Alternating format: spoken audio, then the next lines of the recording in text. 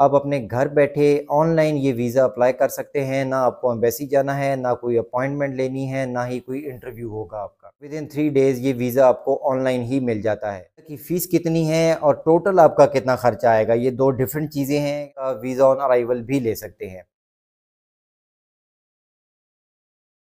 बिसमीम अस्सलाम तो फ्रेंड्स, ई वीज़ा की हमारी सीरीज़ स्टार्ट हो चुकी है, जिसकी आज ये पहली वीडियो है।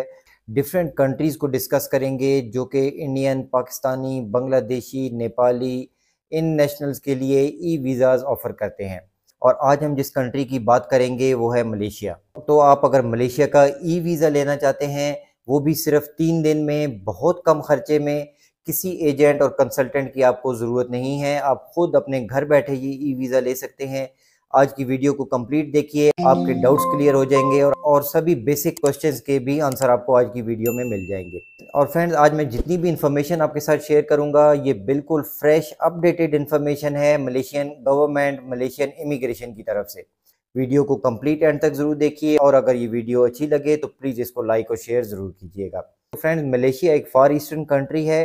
और ये अपने बॉर्डर शेयर करता है थाईलैंड सिंगापुर और सी बॉर्डर इंडोनेशिया के साथ। मलेशिया एक मुस्लिम कंट्री है, लेकिन टूरिज़्म बहुत ज़्यादा होने की वजह से आपको यूरोपियन टच भी नज़र आएगा स्पेशली टूरिस्ट सिटीज़ में, जैसा कि कोलालमपुर गेंटिंग हाईलैंड और लंकावी इसका कैपिटल कोलालमपुर है। आपने ये ट्विन टावर्स हमेशा देखे होंगे मलेशिया की जब भी बात होती है तो ये ट्विन टावर्स आपके माइंड में ज़रूर आते हैं। इनको के भी कहते हैं कोलालमपुर सिटी सेंटर और जो एशिया में टॉप टेन कंट्रीज़ हैं टूरिज़्म के हवाले से, मलेशिया उनमें से एक है। मैं ख़ुद भी मलेशिया जा चुका हूँ और इसलिए मैं अपने एक्सपीरियंस से भी आपको बता सकता हूँ कि मलेशिया एक वर्थ विजिटिंग कंट्री है। कुछ अर्सा पहले तक मलेशिया का वीज़ा लेने के लिए आपको मलेशियन एम्बेसी जाना पड़ता था या कोई कंसल्टेंट्स या एजेंट्स की मदद लेना पड़ती थी जो आपके बिहाफ पे मलेशियन एम्बेसी को आपका वीज़ा अप्लाई करते थे। लेकिन अब मलेशियन गवर्नमेंट ने एक लिस्ट पब्लिश की है थर्टी नाइन कंट्रीज़ की। अगर आप इन 39 कंट्रीज़ के नेशनल्स हैं तो आपके लिए मलेशियन गवर्नमेंट ऑफ़र करती है ई वीज़ा सर्विसेज़ आप अपने घर बैठे ऑनलाइन ये वीज़ा अप्लाई कर सकते हैं, ना आपको एम्बेसी जाना है, ना कोई अपॉइंटमेंट लेनी है, ना ही कोई इंटरव्यू होगा आपका। आपने घर बैठे ये वीज़ा अप्लाई करना है और within three business days ये वीज़ा आपको मिल जाता है। Actually Malaysian government within two days आपको ये वीज़ा इशू कर देती है, लेकिन कुछ केसेस में थ्री टू फोर डेज़ भी लग जाते हैं। तो विद इन थ्री डेज़ ये वीज़ा आपको ऑनलाइन ही मिल जाता है। तो फ्रेंड्स आज की वीडियो में हम जो टॉपिक्स कवर करेंगे, ये 39 एलिजिबल कंट्रीज़ कौन से हैं जो कि मलेशिया का ई वीज़ा ले सकते हैं?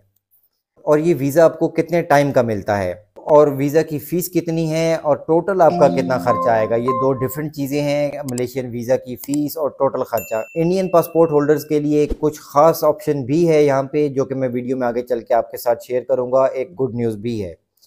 और इसमें रिक्वायर्ड डॉक्यूमेंट्स कौन कौन से हैं? किन डॉक्यूमेंट्स की आपको ज़रूरत होगी मलेशिया का ई वीज़ा लेने के लिए? तो फ्रेंड्स ये जो 39 एलिजिबल कंट्रीज़ हैं इनकी लिस्ट आपके सामने आ रही है। ये मलेशियन इमिग्रेशन से ही लिस्ट ली गई है। इसमें बांग्लादेश का नाम भी है, इंडिया भी है, पाकिस्तान, नेपाल, श्रीलंका। ये सभी नेशनल एलिजिबल हैं मलेशिया का ई वीज़ा लेने के लिए। तो अब बात करते हैं ड्यूरेशन ऑफ़ स्टे की, जो कि है thirty days for all nationals इन सभी कंट्रीज़ के नेशनल्स के लिए आपको जो वीज़ा मिलता है, वो थर्टी डेज़ का मिलता है। वीज़ा फ़ीस की अगर हम बात करें फ्रेंड्स तो इंडियन पासपोर्ट होल्डर्स के लिए वीज़ा फ़ीस थोड़ी ज़्यादा है और बाकी सभी नेशनलिटीज़ के लिए वीज़ा फ़ीस कम है।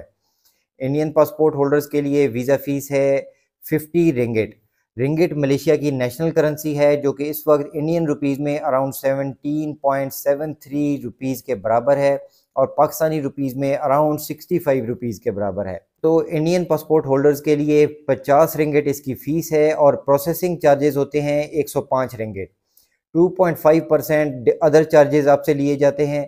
तो ये इन टोटल आपके बन जाते हैं अराउंड 157 रिंगिट जो कि इंडियन रुपीज़ में दो हज़ार नौ सौ के करीब अमाउंट बनती है। और पाकिस्तानी पासपोर्ट होल्डर्स के लिए ई वीज़ा की फ़ीस है ट्वेंटी रिंगिट एक सौ पाँच रिंगिट आपने पे करने हैं सर्विस चार्जेस और 2.5 परसेंट अदर चार्जेस हैं तो ये आपके अराउंड 128 रिंगेट आपने पे करने होते हैं। पाकिस्तानी रुपीज़ में बन जाते हैं तकरीबन साढ़े आठ हज़ार रुपये बांग्लादेशी श्रीलंकन और नेपालीज इनके लिए भी सेम 20 रिंगेट ही फ़ीस है 105 रिंगेट इसके सर्विस चार्जेस होंगे 2.5 परसेंट अदर चार्जेस होंगे। जो भी आपकी नेशनलिटी है, आप अपनी करेंसी से इसको चेक कर सकते हैं।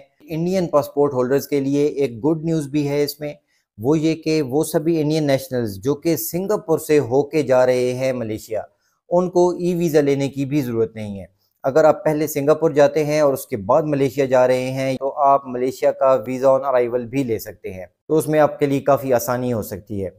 लेकिन वैसे ये वीज़ा लेना भी इतना मुश्किल नहीं है। इसका अप्रूवल रेट काफ़ी हाई है। जो कॉमन मिस्टेक्स हैं जिनकी वजह से ई वीज़ा रिजेक्ट हो सकता है मलेशिया का, वो मैं वीडियो के लास्ट में चल के आपको बता दूँगा। तो फ्रेंड्स अब यहाँ पे रिक्वायर्ड डॉक्यूमेंट्स हम देख लेते हैं। तो बहुत सिंपल से पाँच छः टोटल डॉक्यूमेंट्स हैं जो कि आपने लगाने हैं। कोई मुश्किल डॉक्यूमेंट्स नहीं है इसमें। सबसे पहला है आपका पासपोर्ट क्योंकि ये ई वीज़ा है तो सभी अपने स्कैन डॉक्यूमेंट्स रखने हैं। आपने ओरिजिनल पासपोर्ट किसी को नहीं देना। वाइट बैकग्राउंड के साथ मैट फिनिश में आपकी एक पिक्चर होनी चाहिए पासपोर्ट साइज़ की। उसके बाद आपका रिटर्न एयर टिकट नेक्स्ट अगर आप अपनी फैमिली के साथ अप्लाई कर रहे हैं और छोटे बच्चे आपके साथ हैं तो उनका बर्थ सर्टिफिकेट और अगर पाकिस्तान से आप अपनी फैमिली के साथ अप्लाई करते हैं तो आपने एफ़ आर सी ज़रूर देना है नादरा से लेके। और उसके बाद है फ्रेंड्स आपकी होटल बुकिंग और लास्ट है आपकी बैंक स्टेटमेंट फ्रेंड्स ये सिंपल से एक, दो, तीन, चार, पाँच छः छः डॉक्यूमेंट्स हैं। इनके अलावा ना ही आपको कंपनी रजिस्ट्रेशन चाहिए, ना बिज़नेस के डॉक्यूमेंट्स ना एम्प्लॉयर के लेटर्स कोई इसमें आपको लंबे चौड़े कागजात की ज़रूरत नहीं है। बहुत से लोगों के माइंड में ये भी क्वेश्चन होगा कि मलेशिया का ई वीज़ा लेने के लिए कितनी बैंक स्टेटमेंट चाहिए होती है? तो पाकिस्तानी नेशनल्स के लिए आपके अकाउंट में अगर ढाई से तीन लाख रुपए भी हैं तो इनफ है मलेशिया का ई वीज़ा लेने के लिए।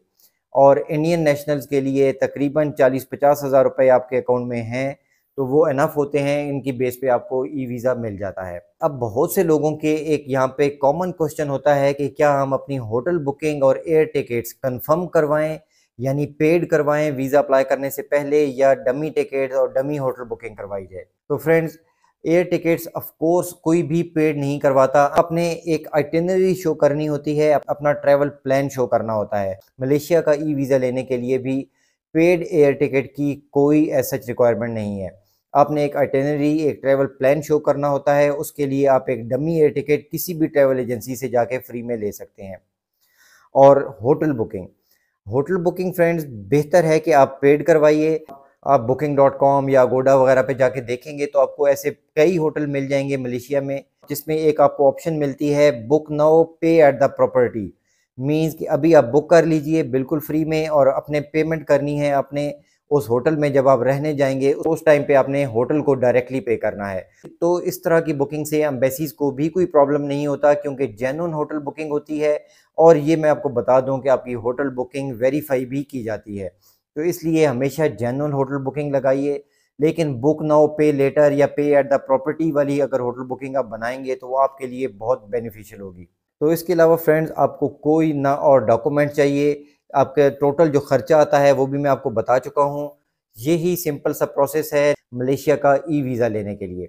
अगर आप लोग चाहते हैं कि मैं आपको मलेशिया का ई वीज़ा अप्लाई करके दिखाऊँ, कैसे आपने ये अप्लाई करना है एक एक स्टेप आपको क्लियरली एक्सप्लेन करूँ तो प्लीज़ वीडियो के कमेंट्स में ज़रूर बताइएगा। अगर ज़्यादा लोगों की ये डिमांड होगी तो मैं इस पर एक डिटेल्ड वीडियो ज़रूर बनाऊँगा। अगर वीडियो अच्छी लगी फ्रेंड्स तो प्लीज़ इसको लाइक और शेयर ज़रूर कीजिएगा। अपना और अपने इस चैनल का ख्याल रखिएगा। थैंक्स फॉर वॉचिंग अल्लाह हाफिज़।